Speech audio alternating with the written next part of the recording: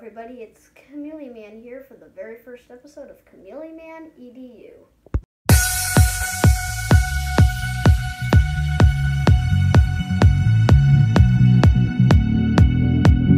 So today, I have a very special guest, the orchid mantis. The orchid mantis, or Hymenopus coronatus, is part of the Insecta kingdom and Mantodea class. Um, by now, you have probably noticed that the orchid mantis looks a lot like the orchid flower. Well, you're right.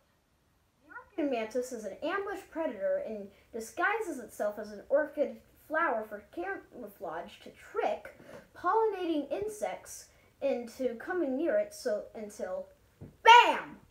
Eaten by the orchid mantis. The orchid mantis is so good at camouflage that, in fact, if an orchid that lives on starts dying and turning brown, the orchid mantis still lives it. Even, this also works when the orchid it lives on starts changing color.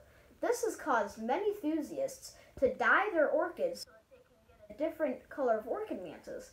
Many orchid mantis colors have come out, including pink, blue, and purple. From a baby to adult, you will notice that the that when it is a baby and has not molted yet, it is red with a black trim. This is to disguise itself as its original orchid. I do not know the Latin name of the orchid, but it is a red and black orchid. The uh, when it molts once, it becomes a pinkish or whitish color, kind of like the orchid mantis you see right here.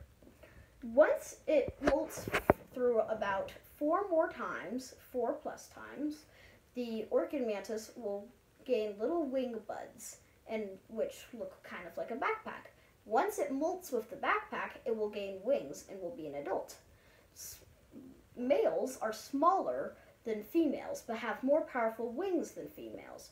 The reason for this is so that the males can find the females to mate easier. And that is it for my mantis tutorial video thingy. Yeah.